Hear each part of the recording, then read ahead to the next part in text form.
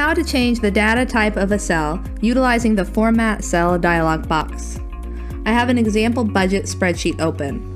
And what I'd like to do is add a column here so I can track an additional expense.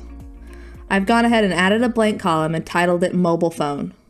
Then I selected all of the cells under mobile phone because I know that those cells are going to contain a specific type of data. Excel will work better when it knows which types of data are in which cells so that it can perform the correct operations on them. I know that these are all going to be US dollar amounts, so I need to tell Excel that.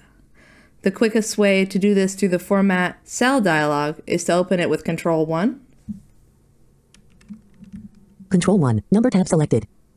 JAWS focus is on the number tab. I'm going to tab down so that I can enter into the content of the dialog.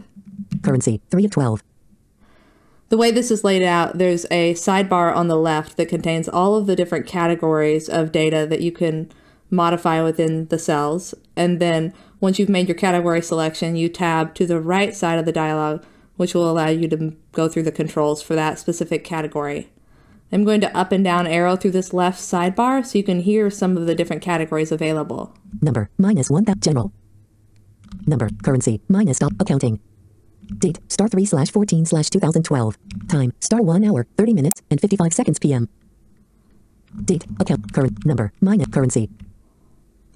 So I know that I want the US dollar amount, so I arrowed back to currency. And I'm going to continue to tab through this dialog so that I can see the controls under the currency category. Decimal places colon edit spin box, 2, Alt plus D. The default is that the decimal places will be 2. I'm going to leave that as it is. Symbol colon combo box, dollar, alt plus S. The symbol that I'd like to use is the US dollar. This is also a combo box where I can arrow up and down and change the currency symbol if I would like to. I'm going to go ahead and tab. My OK button. And here I can press space. Space. Practice workbook.xlsx dash Excel sheet 1 D4 blank D15 blank.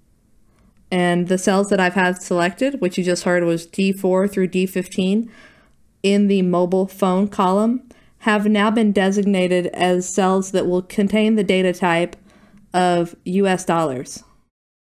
Freedom Scientific, of a Vispero brand. If you are interested in other training, please visit us on the web at freedomscientific.com forward slash training and on YouTube on our Freedom Scientific training channel.